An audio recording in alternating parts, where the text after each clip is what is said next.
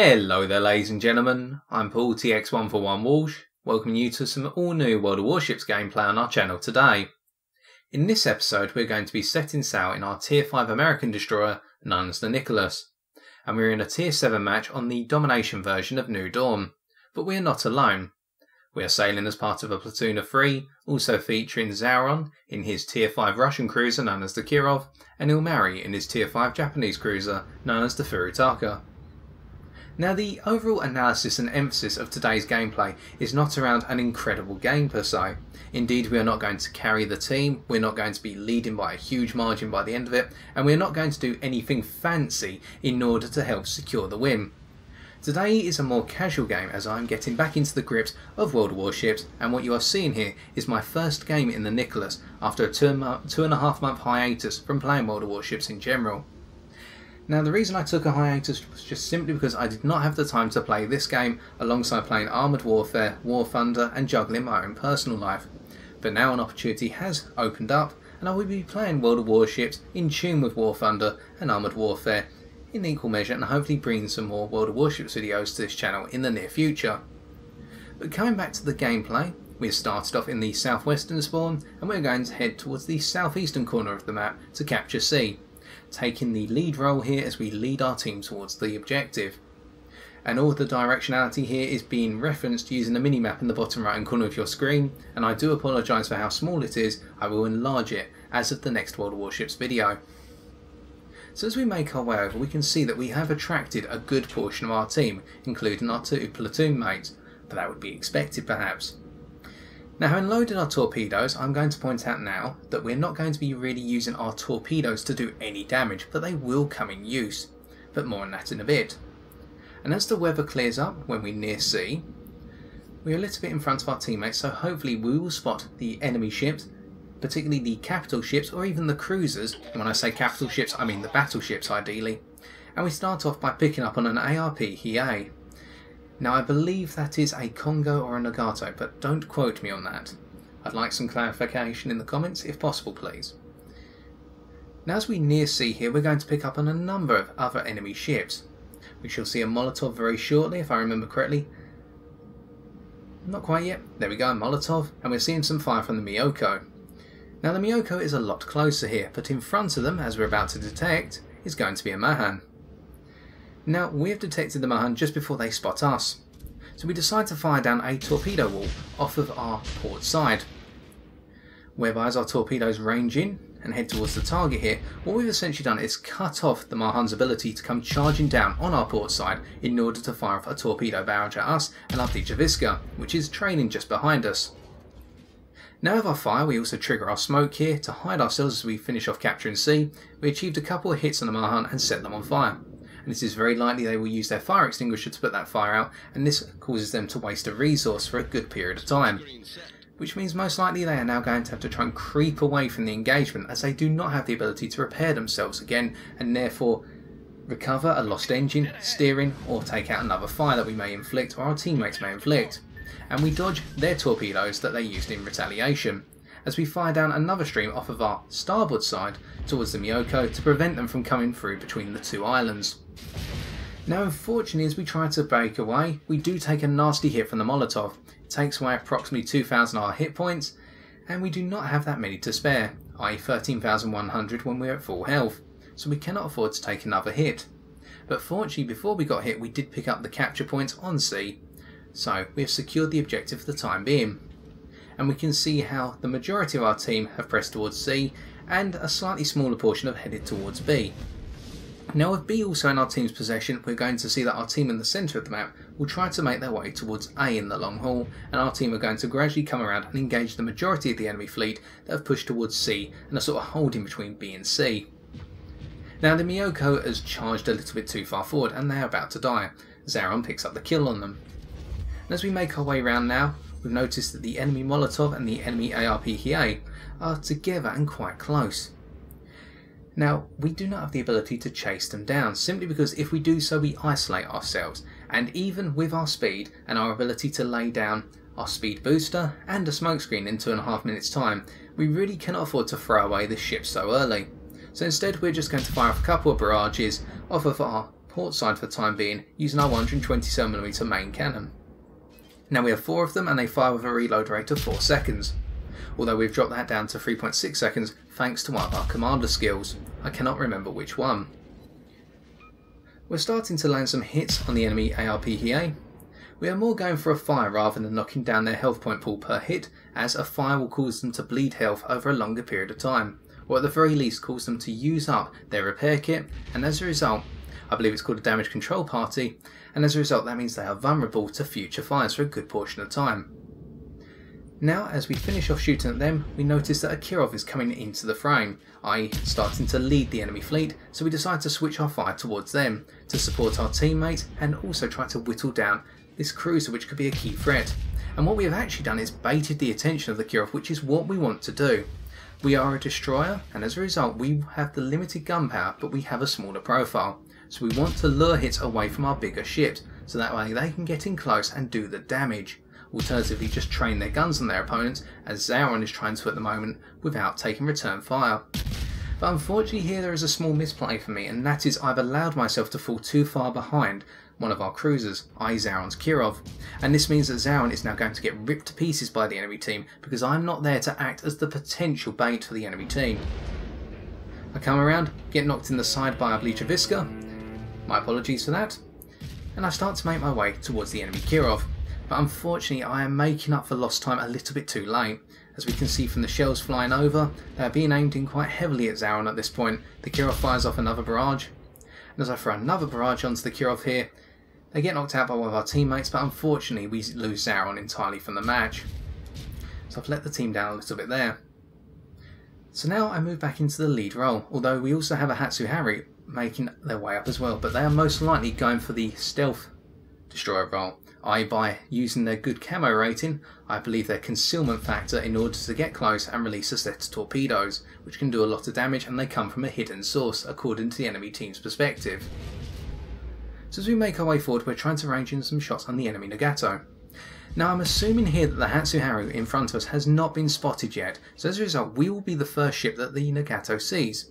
And this means that they're most likely going to try training their guns on us, if not our ships behind us as if we look at the minimap, it is myself, our Błyskawica, alongside us, and a couple of cruisers a little bit further back, including Ilmaris Furutaka. Now again here, being a little bit ignorant of the way my ship's going, I actually crash into the Błyskawica once again. As you can hear the horn in the background, my apologies once more, tunnel vision at its finest. And we do rain some shots down on the Nagato and actually set them on fire. Now again here we are hoping to bleed their health, or alternatively force them to use their damage control party. As we see very shortly, the fire will go out and they have used up that resource. Which means now if we do get another fire on them, they will bleed a lot of health over time, or if our teammates do, they will achieve the same effect. The fire has not gone out quite just yet, as we can see now they are dying down, and that is the damage control repair party taken away from them. Now launch our barrage away, we have to break away because we're out of range, but we can see the Nagato here's fired back at us, a couple of armour piercing rounds, two of them hitting us, and we're now down to just over 50% of our health, so we have baited a good portion of fire away from our teammates. Now with that we have to pull away and we've let our Błyskawica, which I believe is a premium tier 7 destroyer, a Polish one if I remember correctly, correct me if I'm wrong, is now taking the lead, taking up well, the role that we have been trying to do so far. That is only fair, they're at a greater amount of health, so it's nice to switch up the role, and here we're sitting back and just watching the engagement occur. We do not have the ability to hit the Nagato at this range, and they're sailing away from us towards their friendly Molotov. And if we get caught in the guns of the Molotov with their high muzzle velocity at the moment, we're going to get ripped to pieces. So, we start heading towards B because we can look at the scores and we can see that our team has A and C and the enemy team only has B. So we have a lot of points in our favour and we have two cap points to their one, which means we just need to take our time and we can win this game through scoring points and a war of attrition on that front rather than having to sink enemy ships. We can see here how our Błyskawica is really trying to take a lead role and they're losing a lot of health for it. So now we're going to start making our way back up towards them gradually, not directly, as we want to try and cut off the sailing path of the Nagato and the Molotov, who are currently on our starboard. I believe our starboard bow. And as we do so, we can see here the Molotov is trying to act as a screen for the Nagato, who is losing a good portion of their health. And the Molotov has now attracted the attentions of our teammates, and all the way through this note how Ilmari and one of our battleships has sat behind us throughout this being able to use the range of their guns without having to feel the need to get in front of us, meaning that we are providing that screen for our teammates to a good extent. Now the Molotov here hits the island and unfortunately our first barrage completely misses but now we're starting to range in as the Molotov goes into full reverse. We get some nice hits here and we can see how we can gradually build up a good portion of damage with our high explosive rounds and Ilmari finishes off the Molotov with a wonderful devastating strike, most likely at least one Citadel hit. Now we carry our momentum forward here and we can see how the Nagato is gradually, gradually heading towards death, although they do trigger their repair consumable, I can't remember the name of it, but the one that enables them to build a bit of health over a little period of time. We can see it in action right here, as we all start to range in on the Gato to bring them down. And really they are fighting a losing battle. But nonetheless it is a good opportunity for us to try and range in a couple more shots. So we will do so, right at the apex of our range, but getting a little bit closer now as we get within 10 kilometres of them and our slower muzzle velocity mean that sometimes it takes a little while for us to range in effectively. We get a couple of scratch rounds on them, i.e. ones that hit but do no damage. As we fire off our last barrage here, they burn to death. Now, having seen that the Nagato has been taken out, we start to make our way towards B. There are three enemy ships remaining, two destroyers and one cruiser. Apologies, one battleship. You can see how rusty I am at this game. Now, instead of going towards A, which would be a potential idea because that is where the enemy are, let us secure the win first. And we've even had one of our teammates saying, Destroyers, please capture B. And that is already my intention. I would rather secure the win for the team than rush off and try to get more damage dealt to the enemy team or even some kills. Simply because there is no need to here. We are 800 points to roughly the enemy team's 450. And by capturing B, we will pick up another set of points increase our score earning rate for every 4 seconds or 3 seconds depending on how it's done now.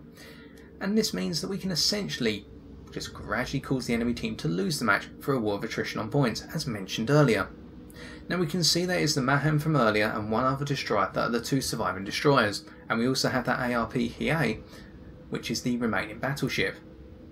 Now by heading towards B we are going to close the range of the engagement, and at this point Ilmari is heading towards B as well, but at a longer range. They are going to be coming off to our port side. Now I point out to my teammate here that the second destroyer will be coming from A. They've both been over there because of the quick rate at which the enemy team did capture A. We can see at the Farragut the other destroyer is gradually being knocked out by a Błyskawica, although it was a 2 to 1 engagement whereby the Farragut and the Mahan managed to bring down the Błyskawica very rapidly, and the ARP may have even had some shots on them, and we start to capture B. Now, to deter the Farragut and the Mahan from coming through and directly into B at this point, we launch down another torpedo barrage off to our starboard side, and this means they will not be able to come through to B unless they want to sail into a wave of torpedoes, or they will have to direct themselves around it or through it, and that will cost them time and enable us to pick up B. And we also use our smoke to make sure we're no longer spotted, and our opponents cannot get a clean shot on us to reset the capture zone. And as we carry momentum through here, the smoke screen has now been used and it is in position. Ilmari has been able to advance through the smoke screen as he is cut off behind me. I, from my stern, been able to follow me through and head towards the two destroyers. And we pick up the capture on B for our second capture of the day. And we start to make our way indirectly down towards the south. We want to come around behind the destroyers if possible, or at least off to a flank. Meanwhile, Ilmari is going to take the brunt in his Furutaka, and essentially take the attention of the destroyers away from me, but I will come back and support in the near future. Now having reloaded our torpedoes, we need them to be active because the range of engagement here is going to close very rapidly. We are a set of destroyers engaging one another, and destroyers in general are very fast. Now the Farragut is spotted by Ilmari, or at least I would assume, and the two are exchanging words, over the course of high explosive and armour piercing shells. Now the Farragut is charging through here because they need to get into the capture zone, IB, to try and resuscitate the game for their team, and the Mahan is also doing the same. So here we throw down a torp towards the Farragut, What this prevents is the Mahan coming across and trying to launch a set of torpedoes off what would be their port side in order to be able to take us out. And this also draws the attention of the Farragut towards us because we're so close. Now we finished off in a single barrage for our first kill, and this means now we have got a perfect set of starboard shots on the Mahan, who can only bring two of their guns into play for the time being, whilst we can use a full broadside, and they have to weave their way through our torpedoes as they are headed towards us across our torpedo trajectory. So if they decided to go for a torpedo barrage they would have gone straight into our torpedoes, so they had to sail through. So that has bought us time to even up the score, whereby they technically do have the ability to outfire us with their slightly higher reload rate if I remember correctly. But instead, we have played this right, and whilst we are losing a good chunk of our health, we fire off our final barrage and knock them out for our second and final kill of the game. And with that, our team achieves a thousand points on the score, and the game ends. So it is time for us to take a look at the post-game stats. Well, that was quite a pleasant reintroduction to the world of World Warships, and we can see that we were rewarded quite handsomely for it, picking up 168,645 credits and 3,096 experience. We can see that we also picked up a minor fine and a minor bit of compensation for the two collisions we caused to our friendly Błyskawica. And in terms of our battle performance, we can see that we caused 71 target hits, 4 incapacitations, 2 ship destructions, 2 fires, 8 base defends, and 2 base captures. Transitioning over to the team score, we can see how despite being in the lowest tier of ships available in the match today, we came first by comparison to the rest of our team, picking up 314 experience more than the second place player on our team. Now this was not because we carried our team per se, and we did not go out on a limb in order to help our team achieve the victory, hence the rather small margin, but instead we acted as part of the team wherever possible throughout the duration of the match, mostly acting as one of the lead destroyers in the group that headed towards C and then eventually towards the B flag in order to constantly switch between the objective and spotting and acting as a distraction on the larger enemy ships, i.e. their cruisers and battleships, whereby we're able to sit in the front, providing our team with the ability to see the enemy's configuration before they were able to reciprocate the favour and spot our team, and this meant that we technically had the first shot on our opponents wherever possible.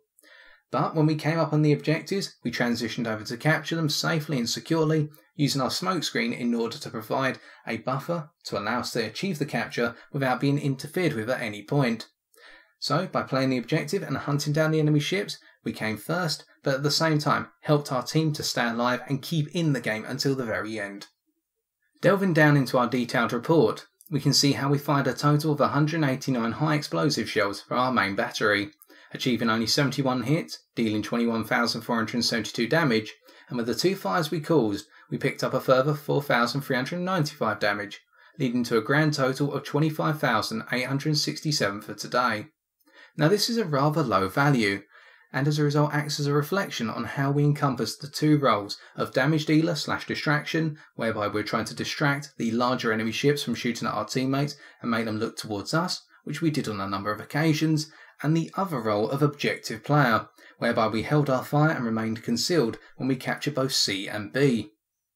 And as we go further down into our torpedoes, we can see how we fired a grand total of 24, and none of them hit. Now this may seem odd, we are playing a destroyer and torpedoes are a very important part of a destroyer's life cycle.